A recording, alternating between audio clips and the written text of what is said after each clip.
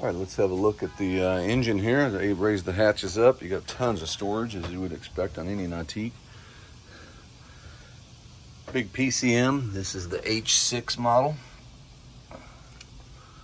All fuel injected, of course.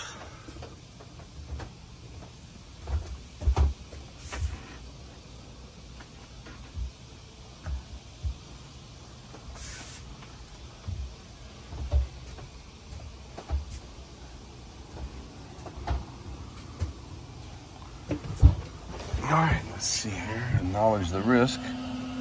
There we go. All that powers up. 291.6 hours. 16 person capacity. All right, you can see this boat um, on the website, boatsofdallas.com. My name is Steve, and again, this does come with a trailer as well.